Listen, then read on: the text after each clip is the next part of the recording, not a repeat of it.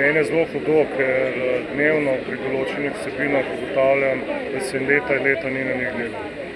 Ena od takih je tudi ta, ki ste jo omenila. Jaz sem naročil, da morajo aktivnosti potekati naprej in računam, da do konca leta bo ta uredba sprejeta. Jaz bi tukaj tudi še enkrat poudaril, tudi državljankam in državljanom, veliko je nekih govoric, da se bo zmanjševale okoljske standarde, zato da bomo lahko, da bomo lahko tako vadišče uporabljali naprej. Zato smo zahtevali, da se naredi študija tveganja, zato smo zahtevali, da se vključijo noter pravi omejitveni ukrepi. Poglejte, to ni edino tako vadišče na svetu.